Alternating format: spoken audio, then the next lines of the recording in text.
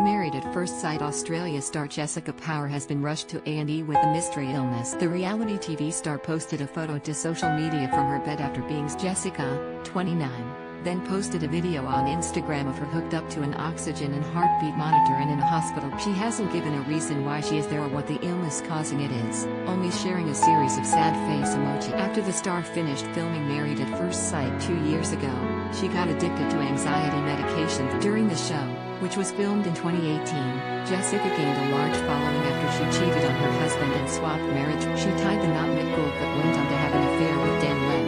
Jessika is now an Instagram influencer and has received a lot of backlash and has been slammed online, leading her to Xanax. She said, I actually had a Xanax addiction and I was drinking a bottle of wine. It was after my life breakup with Dan. I had moved my whole entire life somewhere for a man. I was already getting slammed online from the show. Then everybody got to watch my live breakup. I was getting all of this, you deserve this, as well as the heart. She went on to say it really was not okay despite having really thick skin.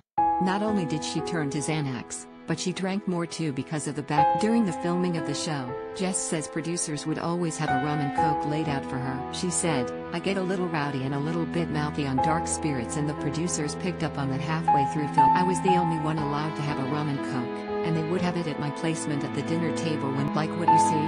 Then fill your boots. They just knew the second it had a few of those in me and I'm tired and upset. I hate my husband, I'm just going to kick off. It showed me all of my really bad traits,